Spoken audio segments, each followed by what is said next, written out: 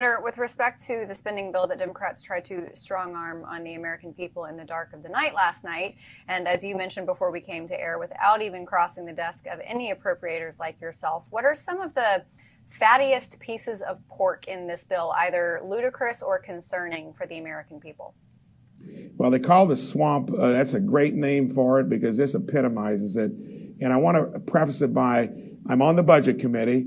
I am an appropriator. You mentioned no appropriators had any idea what was in this.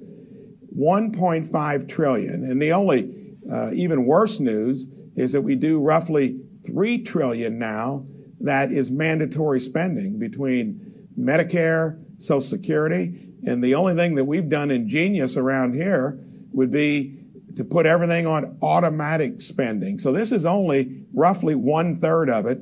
It drops in our lap, 2,700 pages, full of pork, and we brought back earmarks. We haven't had them since 2011. You think after all this money we've spent, all of which we borrowed, that you would not need earmarks to have the symbolism that this place is even worse than not doing budgets, not bringing in your appropriators to have some say in what's spent.